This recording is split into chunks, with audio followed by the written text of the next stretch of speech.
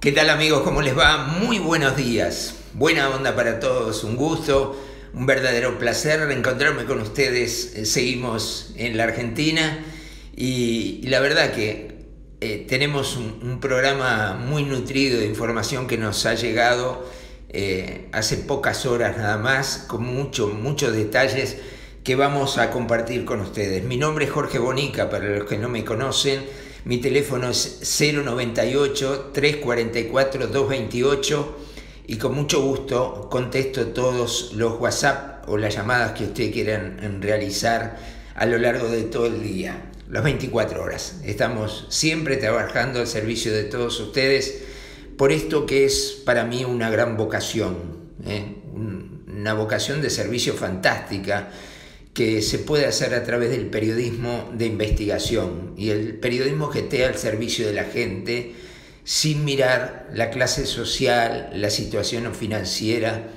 y el color político sobre todas las cosas.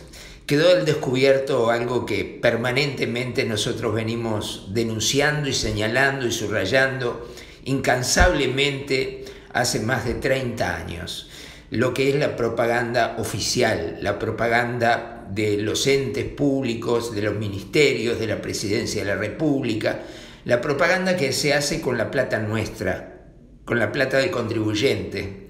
Debería haber dicho sufrido contribuyente.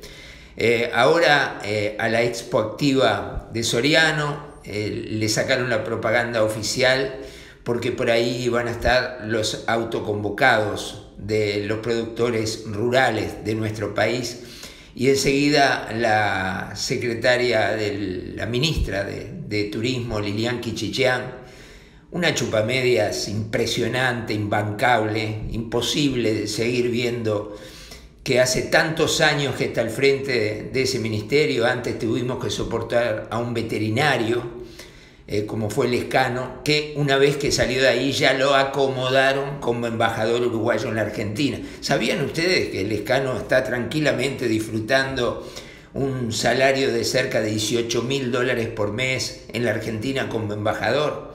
Bueno, eso no, no, lo sabían, ahora lo saben. Siempre acomodando a todos y eso que el Frente Amplio, los progresistas, la izquierda de nuestro país, durante décadas criticaron ese proceder, exactamente el mismo proceder de los partidos tradicionales blanco y nacional. Antes, eh, blanco y colorado, antes estaba mal, estaba pésimo.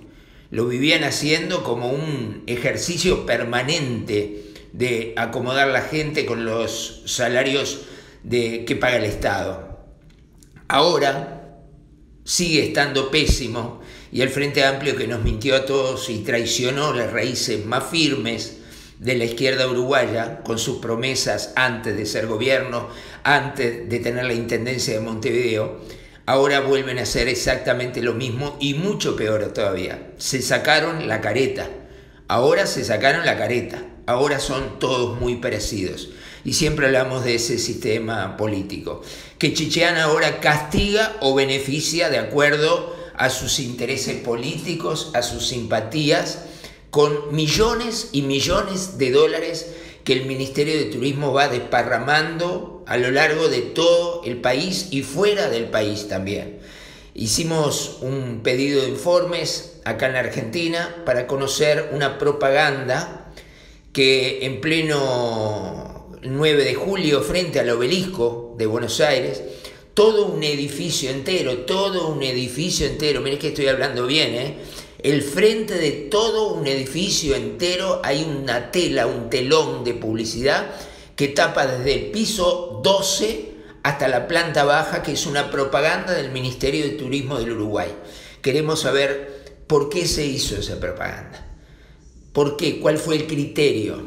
¿Cuál fue el criterio técnico? Cuál fue el retorno que esperaba el Ministerio de Turismo a una cuadra y media del obelisco de Buenos Aires en Corrientes y la 9 de julio para hacer esa tremenda propaganda durante seis meses. Ya estuvimos viendo los permisos y están en orden, los permisos lo, piden los dueños de cada uno de los apartamentos unidos, la administración del edificio, a la ciudad de Buenos Aires. los permisos están por seis meses para que ese telón tape todo un edificio. ¿Cuánto ha salido? Ya se lo vamos a decir porque vamos a, a, lograrlo, no solo acá en la Argentina, sino también ahí en el Uruguay. Vamos a hacer un pedido de informe por intermedio de esta ley de información pública en el Ministerio de Turismo para conocer ese y todos los gastos de publicidad que el Ministerio de Turismo ha hecho en los últimos ocho años. Vamos a otro tema.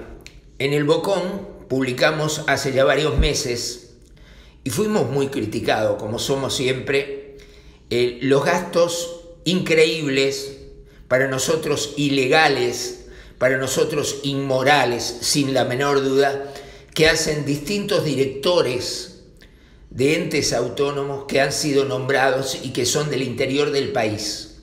Y que se vienen a Montevideo, y vamos a hablar del caso que ha sido denunciado en la Fiscalía de Crimen Organizado del fiscal Luis Pacheco, que tomó el caso y comienza a hacer la investigación de la denuncia que hizo el semanario El Bocón hace ya cuatro meses atrás, y que nos dijeron de todo, y que refería específicamente a los gastos que el, profesor Ami de Soriano, del Partido Colorado, que también lo acomodó Pedro Bordaberry como director de UTE, porque no le dieron los votitos que tenía para volver a ser diputado por el departamento de Soriano. Entonces Pedro lo acomodó como director de UTE. Ellos se reparten todo esto como si estuvieran repartiendo caramelos a la salida de la escuela. Y los que vienen allí son los perdedores, pero que subieron algunos miles de votos y son gente, como dicen ellos, entre comillas debería ser, valiosa. Valiosa porque tuvieron 3.000 votos, 4.000, 2.500 y no quieren perder eso, a esa cantidad de votos.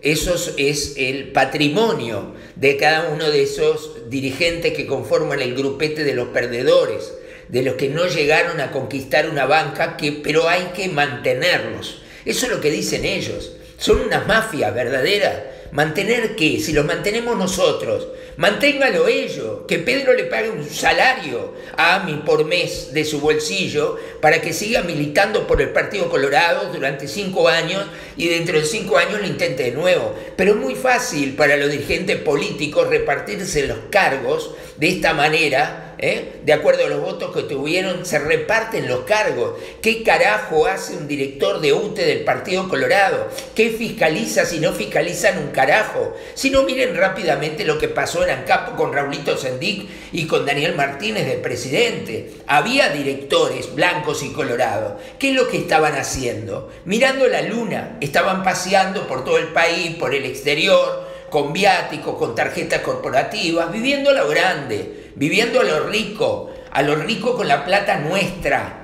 a lo rico con la plata nuestra. Bien, ahora alguien que ha estado ligado, está ligado al movimiento Basta Ya, presentó la denuncia en la Fiscalía del Juzgado de Crimen Organizado, del fiscal Pacheco, fue aceptada y comienza la investigación. Se va a investigar al profesor a mí. Todos los números y todo lo que publicamos nosotros fue absolutamente cierto, verdadero. Nadie lo pudo negar. Eh, el profesor a mí, a mí lo que hizo fue denostarnos a nosotros personalmente, o sea, matar al mensajero como hacen siempre. No les gusta que el semanario El Bocón, ni quien habla, les destape los tarros sucios que ellos permanentemente están haciendo. Pero la verdad que el profesor Ami, que no es el único, que esto no es contra él directamente, sino contra todos aquellos que ocupan cargos públicos y gastan nuestra plata al santo pedo en forma inmoral e ilegal en muchísimos casos, como creemos que es lo del profesor Ami, el hombre vive en Soriano, dice. ¿ah? Entonces se viene a Montevideo a trabajar trabajar de director de UTE, ¿eh? con un sueldo magnífico, con viático para viajar, con chofer y auto oficial, que muchas veces fue visto en Mercedes, en Soriano, en la casa de Ami allá. Muchas veces nos llamaron a decirnos, acá está el auto oficial de Ami dando vuelta. O sea, hace 300 kilómetros para llevar a Ami y traer a Ami. ¿Será así? Es una barbaridad esto. Pero él en Montevideo ¿eh? paga hotel. Entonces todos le pagamos hotel porque él lo paga con la tarjeta corporativa. Y eso es ilegal en UTE. Estamos absolutamente convencidos que la reglamentación actual y la ley anticorrupción lo inhibe de hacer ese tipo de gastos. Ha tenido 20, 25 noches en un mes de hotel en Montevideo, comiendo en los mejores restaurantes que hay de Montevideo, pagando cenas de 10 mil pesos. Eso es una barbaridad. Comiendo la pasiva 18 y G en la esquina donde el hotel donde él va, todos los días todos los días, 600, 700, 800, 600, 700, 800 pesos en un almuerzo, todos los santos días. Eso está mal, eso es inmoral, eso no se puede seguir soportando ni se puede seguir ocultando. Por eso hay una denuncia en crimen organizado y confiamos que el fiscal Pacheco realice la investigación y sancione a quien tenga que sancionar. Que el profesor Ami en lugar de hablar en el bocón como le ofrecimos, porque le enviamos y le dijimos que con mucho gusto recibíamos eh, sus descargos, que si quería le hacíamos una entrevista, si quería nos podía mandar un escrito y nosotros lo íbamos a publicar porque no es nuestra idea que no estén todas las voces ni que nadie se pueda defender, todos se deben defender y tener la oportunidad de hablar cuando son denunciados. Sin embargo, prefirió no hacerlo no hacerlo y denostarnos a nosotros en las redes sociales, diciendo que somos poco menos que unos delincuentes. Eso es lo que el profesor Ami ha dicho. No tengo nada contra él. La verdad, me lo paso, saben por dónde, a Ami, ¿no? No me interesa. Es un perdedor político, un, un fracasado político que cuando fue además legislador no registra absolutamente nada a su favor absolutamente nada a su favor. Pero no es contra él, ni siquiera lo conozco. Hay gente que me ha hablado muy bien de él, me ha dicho que es realmente una persona de bien. Sinceramente, con nosotros no demostró ser una persona de bien, demostró ser simplemente un renegado que nos denostó en las redes sociales. Y nosotros no somos de los que vamos a hacerle juicio ni vamos a correr atrás de un juzgado para lavar nuestro honor de ninguna manera. Seguimos trabajando, contestamos trabajando, contestamos estando cerca de la gente y a favor de la gente. Y estar a favor de la gente es evitar todo este tipo de cosas que están pasando y no pueden seguir pasando. Y por último, quería comentarles que avanzó un escaloncito más en la justicia de Soriano la denuncia que el ingeniero Juan Gutiérrez realizó contra todos los ediles de la Junta Departamental de Soriano. Denuncia que realizó por cobrar sueldo encubierto.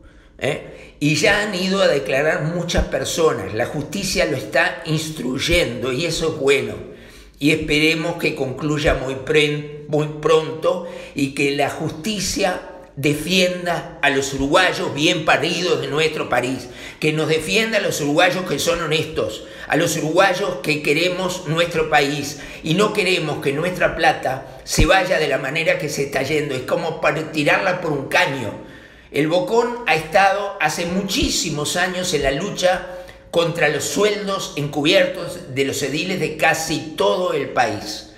En casi todo el país hay maniobras encubiertas para cobrarse sueldos, gastos de secretaría, gastos de representación, viáticos, viajes al interior, de, al exterior de su departamento dentro de Uruguay y viajes al exterior al Santo Pedo, al Santo Pedo, que no dejan absolutamente nada, inventos, inventos que realizan para poder salir y viajar al exterior con todos los gastos pagos. Eso es lo que hacen la gran mayoría de los ediles. No todos, hay excepciones. Hay muchas excepciones que nosotros también hemos destacado muchísimas veces, como ha sido la Junta Departamental de La Valleja y algunos ediles que inclusive, inclusive se pagaban su propia comida cuando salían a los congresos de intendentes. Hay excepciones buenas, así debe ser. Así debe ser, no puede ser que los ediles de Montevideo estén cobrando de gastos de secretaría o gasto de representación más de 100 mil pesos por mes. Pero estamos todos locos y nadie dice nada. ¿Dónde están los líderes de esos cediles de Montevideo que cobran ese disparate encubierto?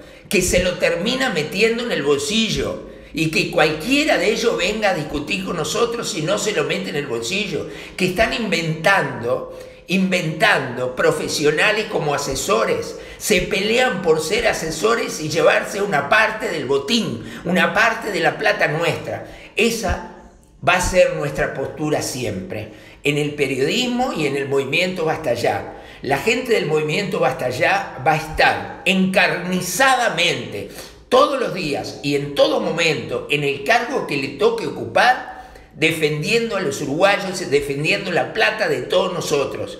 Esa es la gran misión que nosotros queremos cumplan aquellos chicos y chicas, aquellos veteranos que puedan de alguna manera ingresar a algún cargo como edil, como concejal, como alcalde y si Dios quiere diputados y hasta algún senador. Eso es lo que nosotros queremos, que sea una forma totalmente diferente de hacer política, no por el salario que no se va a cobrar, sino por la gente, por cambiar, porque ellos tengan ahí adentro los fiscales que le estén mirando permanentemente, respirándole la nuca, diciéndole, eh, eso es un robo, eso es inmoral, ese gasto no se hace, vamos a defender a muerte el dinero de cada uno de nosotros y van a ver ustedes cómo se van a cambiar las cosas poco a poco desde adentro, con mucha fortaleza, con mucho ánimo, con mucho entusiasmo, pero especialmente con mucho coraje y con un gran respaldo de los que estemos apoyando a aquellos que logren el objetivo de ocupar una banca. Y así va a ser, esto es así de simple, y no nos va a parar nadie. Ya empezaron ahora con intentar eh, juicios y problemas judiciales a pararnos. ¿Saben una cosa? Sinceramente, sigo para adelante. Miro para adelante y sigo para adelante. Enfrentaré lo que tenga que enfrentar. No le tengo miedo a nada. A mi edad, como le he dicho muchas veces, posiblemente esta sea la última bala que dispongo para disparar. Y voy a poner la mejor puntería para ponerla en donde hay que ponerla realmente. Nada me detiene. Nada, absolutamente nada. Ni que me metan preso Voy a seguir diciendo la verdad de frente, con el mismo coraje de siempre, con las mismas ganas de siempre y nada ni nadie me va a detener. No me dejen solo. Lo último, vamos a ver si antes del 15 de este mes de marzo que comienza hoy, podemos reunir las firmas necesarias para presentar ante la Corte Electoral, presentando el movimiento Basta Ya como agrupación política a nivel nacional. Para eso necesitamos firmas de todos los departamentos del país, absolutamente todos. No son muchas, son muy poquitas. 10 firmas en cada departamento para presentar ante la Corte Electoral. Lo queremos hacer el 15, recibir y antes del 30 de marzo poder presentar nuestra acta de fundación, nuestra asamblea fundacional, nuestra comisión directiva, que ya están los nombres y aquellos que quieran integrarlo todavía están a tiempo, con muchísimo gusto se conectan conmigo o con Gabriel Ancina que es nuestro secretario político. Les reitero mi número, aquellos que estén de acuerdo en que esta patriada salga adelante, 098-344-228, y lo vamos a lograr. Estoy seguro que lo vamos a lograr, que aquí va a haber un antes y un después, que los uruguayos bien nacidos, que queremos nuestra patria, que queremos que no nos sigan robando y que queremos que el dinero que está se distribuya como se tiene que distribuir en lugar de irse en propaganda multimillonaria al pedo en el exterior o en viáticos o en gasto de representación de diles, diputados o viajes por el mundo que realizan al santo botón que no tienen ni pie ni cabeza y que solamente se inventan una, una, invitación desde el exterior y terminan saliendo en aviones en primera y, están en hoteles cinco estrellas por el mundo comiendo en restaurantes que pagan cientos de miles de dólares. Eso se tiene que terminar. Tenemos que cuidar nuestro dinero y lo vamos a hacer desde el movimiento Basta Ya. Nos reencontramos mañana, si Dios quiere, que pasen bien.